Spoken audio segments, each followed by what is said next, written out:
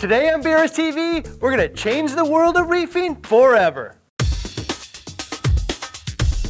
Hi, I'm Ryan, your host of BRS TV. This week we're starting a brand new series called BRS TV Investigates, a weekly YouTube series which explores popular reefing theories, products, methods, what the manuals are missing, with a focus on putting them to the test. I mean, does anyone really know how long T5 or halide bulbs last? Do they shift spectrum? And does a yellow or red spectrum actually grow more algae?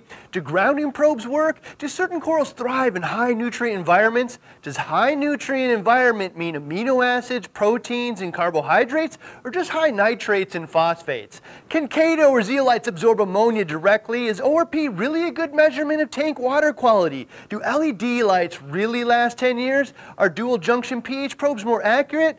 Do popular tank cycling products like Bio-Spira work? The list is endless. We literally have hundreds of popularly thrown around concepts we want to put to the test, some of which I can't wait to confirm, some of which are based off of logical or even plausible assumptions the community has collectively accepted as fact, but might be misunderstood, terminology misused, or just completely wrong. In each episode, we'll start with a common belief in the hobby, identify a realistic way to test that to the best of our ability, put it to the test, and then rate our theory based on a scale of reef certainty to reef fantasy, combined with the community's chance to share their opinion on the results with a quick poll at the end, and joining the larger community discussion. I think we're going to put a lot of lighting elements to the test with BRS TV Investigates. This week we're going to start with the commonly believed theory that a 250 watt double-ended halide bulb puts out significantly more light than a 250 watt single-ended bulb.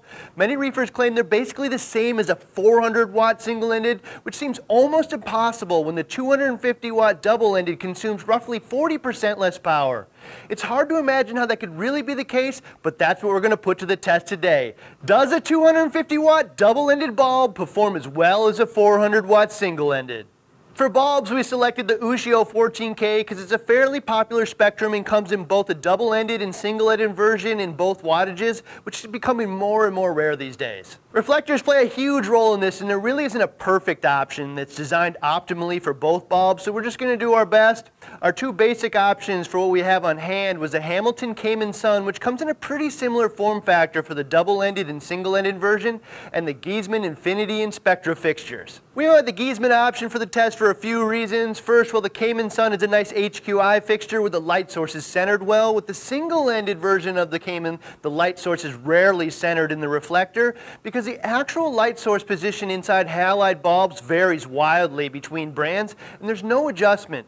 With any reflector, placement of the light source is pretty critical. Most large reflectors allow for adjustment, but the smaller reflectors rarely have this option. You can clearly see the Ushio's 400 watt bulb's light source is way off center, and I know from previous tests it resulted in a pretty odd shaped distribution pattern and not a good selection for a test like this. The Giesemann Spectra's reflector seems to be a bit more forgiving with the single-ended bulb light source placement, so we went with this option.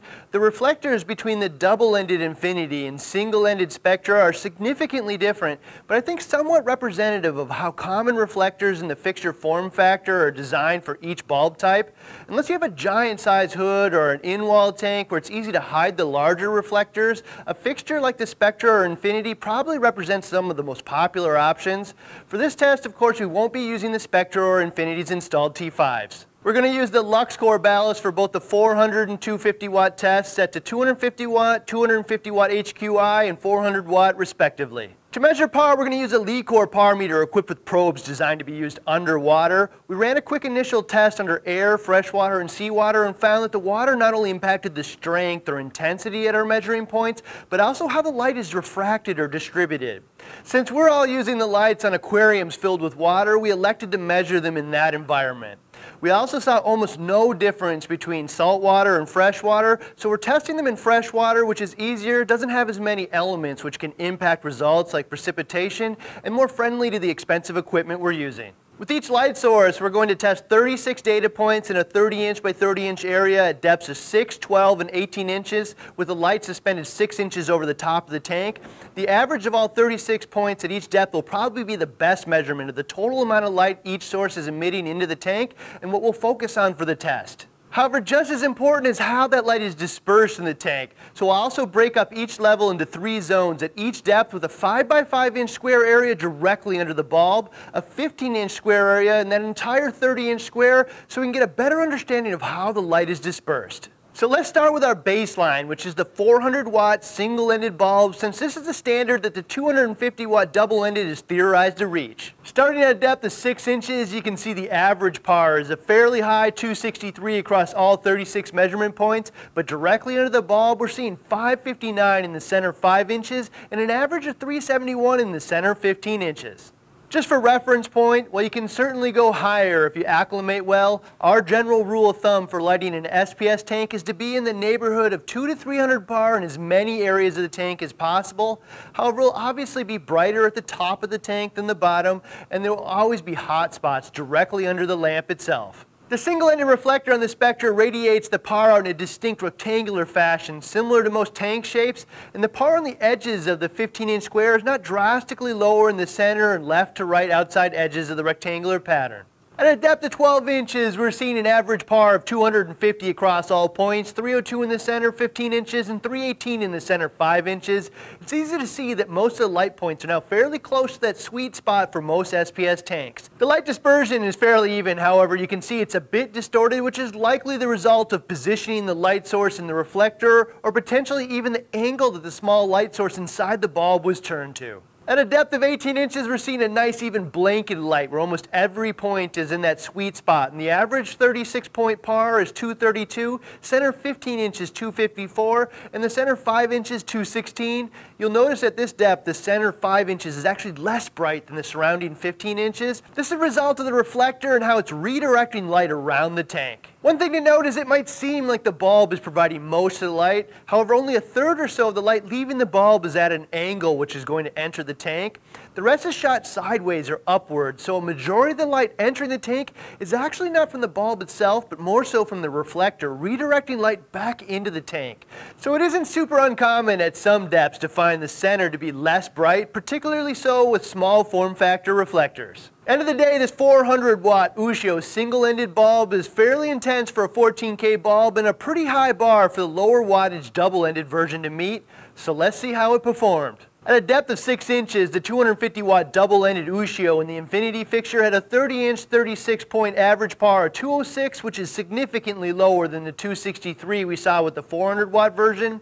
I think it's a good time to note that the double-ended bulb is also running on the HQI setting on the ballast which is really 280 watts rather than 250.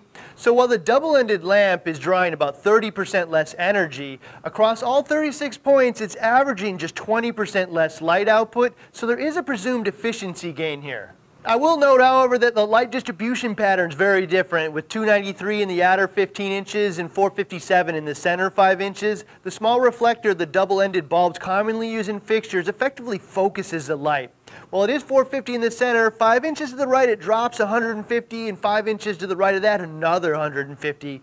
This is what I would define as a pretty significant hotspot, similar to how many compact LED modules perform, but the light dispersion and fall off is pretty uniform. However, once we drop to a depth of 12 inches, the light distribution becomes rather even, with an average par of 201 across all points, 237 in the center, 15 inches, and 253 in the center, 5 inches. Again, that 201 average of all points at 12 inches deep is about 20% lower than the 250 par we saw with the 400 watt version.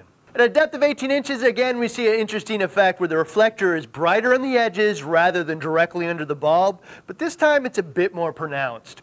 Again, likely the effect of a compact reflector in a fixture design.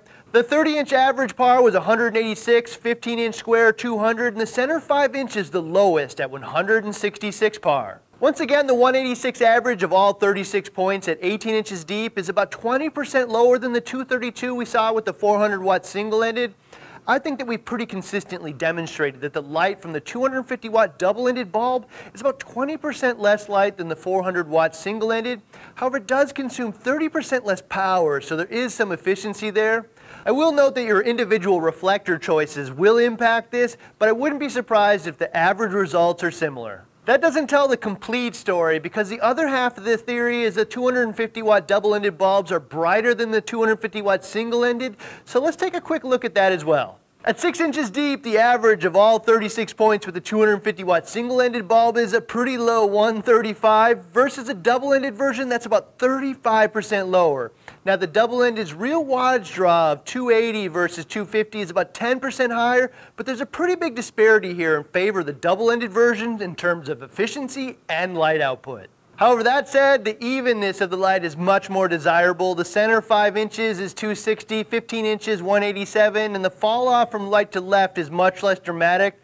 I wouldn't call this a significant hot spot, and the much larger reflector is going to be significantly harder to shadow. Similar results at a depth of 12 inches. The 129 average par is about 35% lower than the 201 the double-ended version had.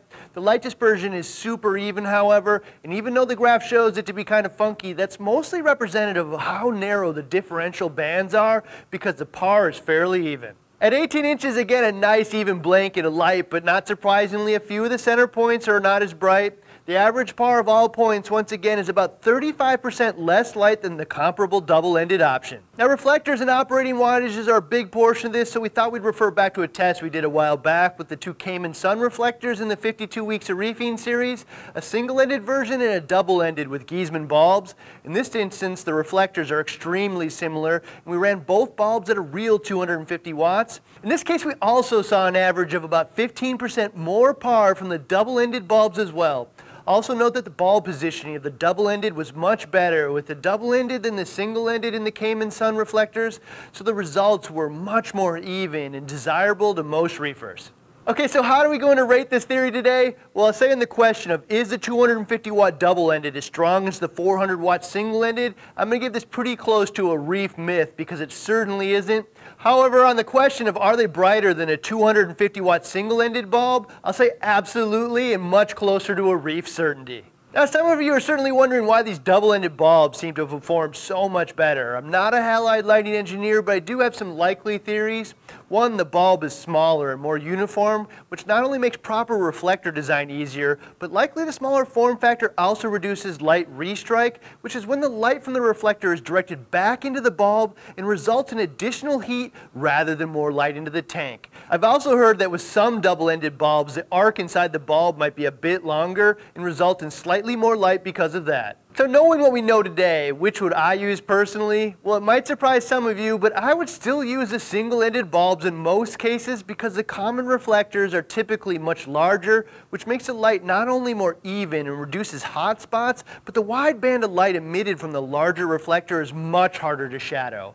However, I might consider a double-ended bulb if I found the reflector design that fits my needs. Also, with the hybrid fixtures like these two from Giesemann, once you turn the T5 component on, the evenness is almost perfect. I find with the Spectra, almost the entire tank is in that sweet spot for SPS with almost impossible to shadow light.